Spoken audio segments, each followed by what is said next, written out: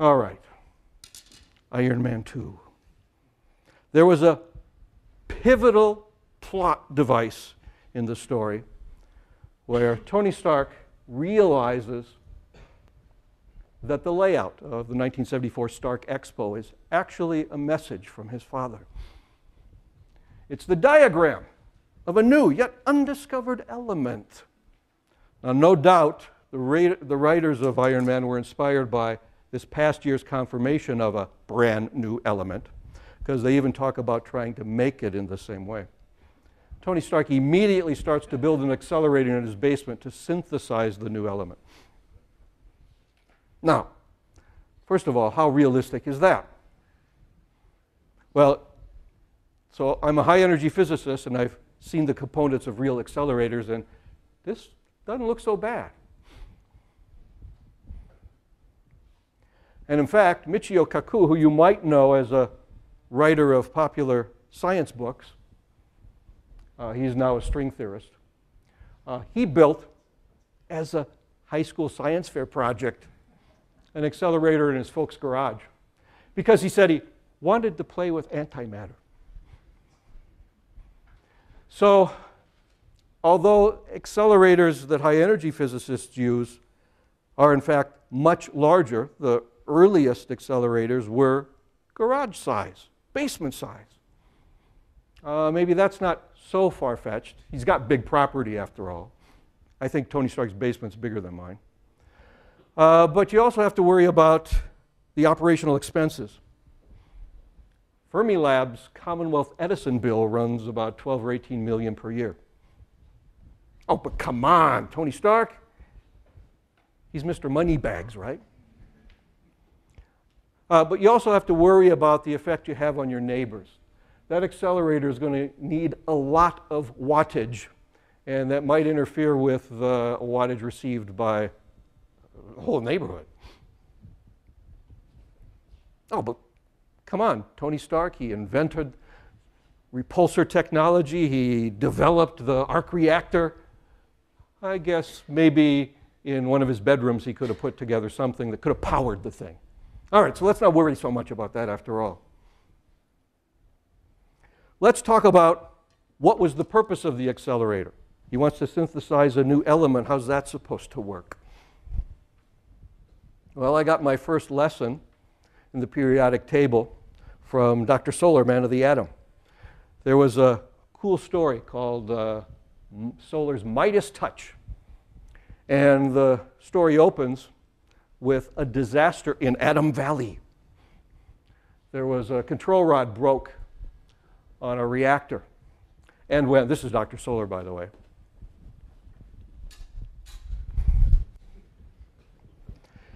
In coming to the rescue, he gets an enormous dose of radiation, not unlike the accident that first gave him his powers.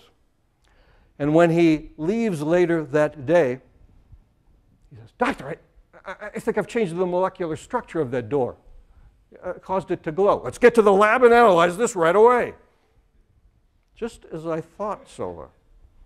The copper has changed to zinc. You've pushed its atomic number from 29 to 30. What distinguishes the elements in the periodic table are in part the number of protons in their nucleus. As you climb from the lowest end of the periodic table, hydrogen, the simplest element of all, has one proton in its nucleus, and in a stable atom, one electron going around it.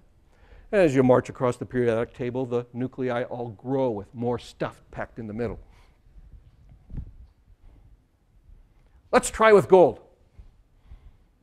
The number of protons in the nucleus is 79. If you push the atomic number up to 80, you will turn it to mercury, sploosh. Now, this came in very handy when he was tracking down the bad guy later in the same story. Because as he caught up to him, as he was trying to escape in a, in a car, high speed car, train, he, uh, as I keep retouching the changed elements, they continue to change and it changes the armored car from iron to cobalt to nickel to copper. Copper! This armored car will open like a tin can now.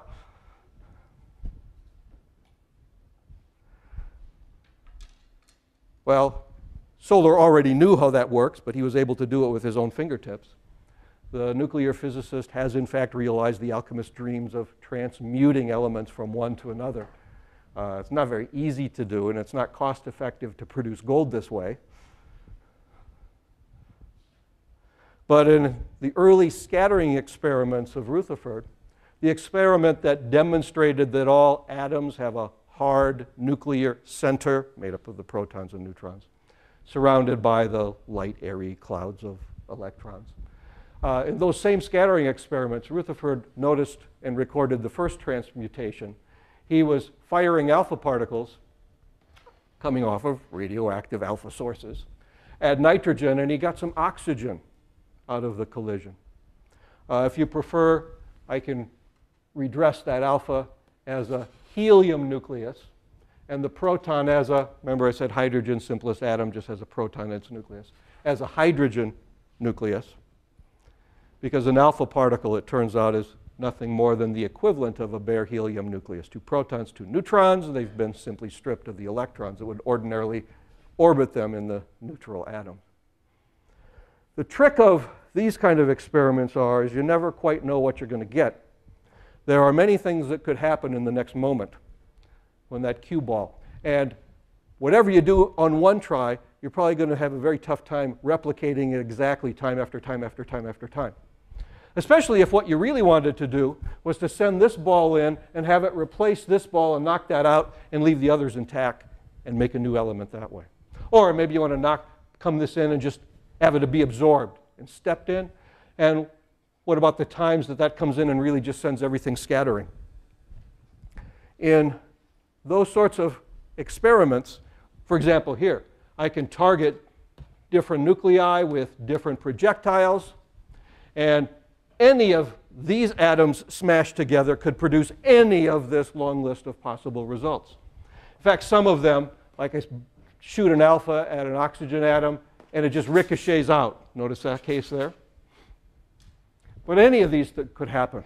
And it's not even worse than playing billiards, firing alpha particles at a target and hoping to hit the nucleus in the right corner with just the right spin to make a particular result turn out. That's not possible. So perhaps the most unlikely thing about that scene of Iron Man is the, the, the, the assumption that targeting that metal with his beam could uniformly transmute the whole thing into a sample of the new element.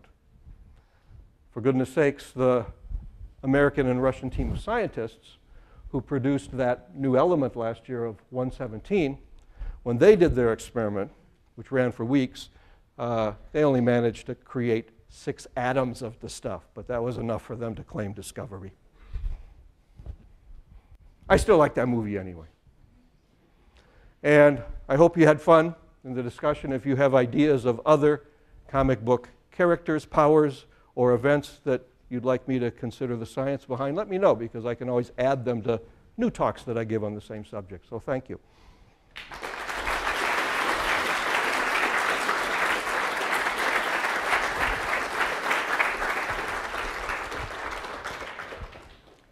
I could take questions if you have them, or you can come up and see me afterwards if you'd like as well.